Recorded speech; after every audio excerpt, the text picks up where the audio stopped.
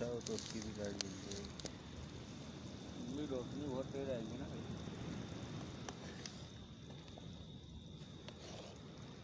ये सरफराज भाई हमारे माशाल्लाह से कुक भी हैं। पक्के पका लेते हैं ये।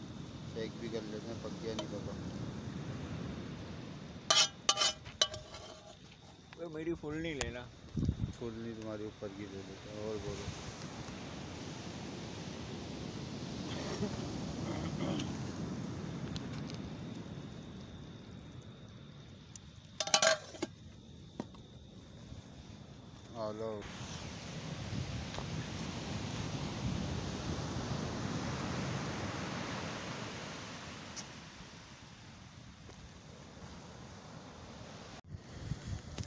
ये सुबह सुबह की चाय चल रही है उमर भाई। पकड़ के बैठे हैं इसको।